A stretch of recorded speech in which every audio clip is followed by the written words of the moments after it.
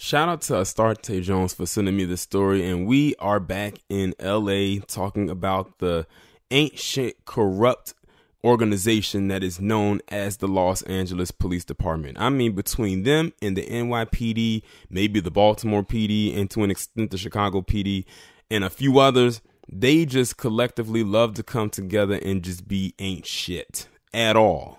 Now, the last time I talked about the LAPD was involving that one cop who decided to take it upon himself to fondle a dead woman. And I think that was back in December when I talked about it. Well, this time we are back in LAPD again in LA. And we're talking about something that many cops around this establishment have been known to do, but for some reason the LAPD loves to continue to do it to no end. So, according to this article coming from the Los Angeles Times, it says officers falsely portrayed people as gang members in falsified records. Are any of us surprised by that? I thought so. More than a dozen Los Angeles police officers with the Elite Metro Division are being investigated on suspicion of falsifying information they gathered during stops and wrongly portraying people as gang members or associates. The officers assigned to special patrols in South Los Angeles are suspected of falsifying field interview cards during stops and inputting incorrect information about those questions in an effort to boost stop statistics. Now, this all goes back to those quotas we keep talking about. As we all know, when it comes to like the beginning of the month or the end of the month, you'll find that there's more cops out on the road than usual. It's uh, not really so much in the middle weeks of the month, the middle days and they're trying to reach a quota. Don't let any of these blue lies matter folks tell you that there is no quota. There are quotas. There are quotas. There are quotas. Point blank, period. In at least one case, body camera and car recordings did not match the accounts in the field interview cards. Some of the officers have been removed from active duty. Notice they say some. I got a question. How much is some? Like, what's a number? Chief Mich- Michel Moore on Monday reached out to some civic leaders in South LA to explain the investigation. An officer integrity must be absolute. There is no place in the department for any individual who would purposely falsify information on a department report. The LAPD issued a lengthy statement on Monday explaining that the investigation began after a San Fernando Valley mother received a written correspondence from the department in early 2019 informing her that her son had been identified as a gang member. She believed her son was misidentified and reported the mistake to a supervisor at a nearby police station. According to the LAPD, the supervisor immediately reviewed the circumstances, including body worn video and other information, finding inaccuracies in the documentation completed by an officer. The parent was notified that her son would not be identified as a gang member and any references to him as such were removed. The LAPD then launched an internal investigation into the actions of three involved officers. Over the course of several months, internal affairs investigators have continued their investigation, resulting in identifying additional inaccuracies in the documentation on field interview cards completed by those officers as well as others. All of the officers involved were assigned to Metropolitan Division crime suppression duties at the time the inaccurate documentation was completed. Given the serious nature of the alleged misconduct, all involved officers have been assigned to inactive duty or removed from the field.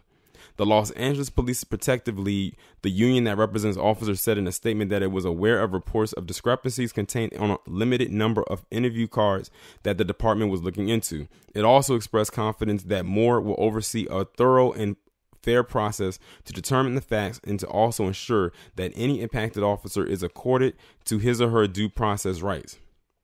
A Time investigation published last January showed that Metro officers stopped African American drivers at a rate more than five times their share of the city's population. that definitely surprises no one. To combat a surge in violent crime, the LAPD doubled the size of its metropolitan division in 2015, creating special units to swarm crime hotspots.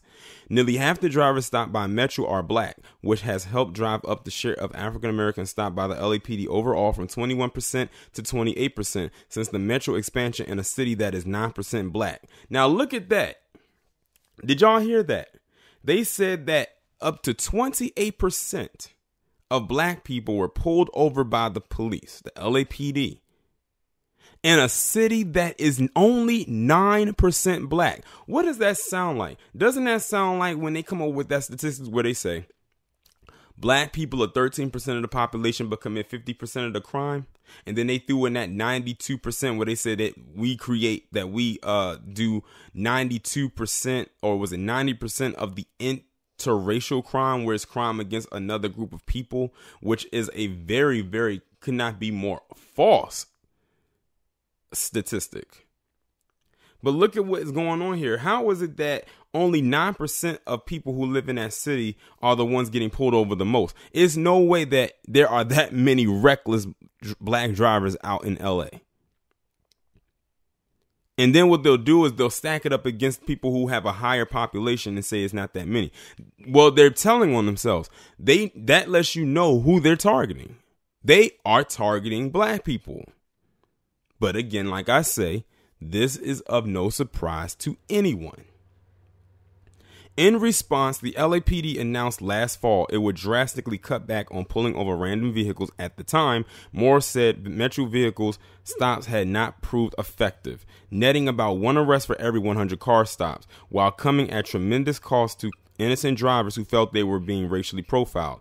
Officials said Metro crime suppression officers, who number about 200, would instead track down suspects wanted in violent offenses and use strategies other than vehicle stops to address flare ups in crimes such as burglaries and shootings. You would think those are the ones that the crimes they would actually go after, but the fact that they have a very high pullover rate and most of them just happen to be black in a city where their population is very low. 9% is low less than 10% which means on the low and that's they are probably like the true minority of that area. And in most of LA or most of from what I'm hearing in California in certain places is uh, is overran by Mexicans. So that means they are literally uh picking who they want to go after. And it's people who look like you and I. And then they throw on or say that they were a part of a gang and everything like that, which throws on another stereotype that only black people can be in gangs, especially if you are a black male. You saw her what they said in this story where they said one lady's son was pulled over and they tried to say that he was gang affiliated and it was like, no, he is not affiliated to any gangs. Do you know how dangerous that could be? If you try to say that he's affiliated or anybody's affiliated with a gang and they're not, you could put their life in danger. And then you got to ask them what gang are they a, a, part of and watch them start stumbling. Or the worst, they could come up with something and then what if it got back to that actual gang? Then that person's life is in jeopardy. I keep telling you, the Real thugs are the ones who wear that uniform and that badge and carry them cuffs and that gun and that taser that they don't like to use so much, especially when it comes to us. But like I said, it's the Los Angeles Police Department. They've been corrupt since forever, for as long as I can possibly humanly remember. But I'm going to end the video on that note. Y'all let me know what y'all think down in the comments. Like, share, and subscribe. Also, make sure that you are following me on Twitter and have the notifications pressed on because when I upload a video, I'm sharing it there first. And I will talk to you in the next one.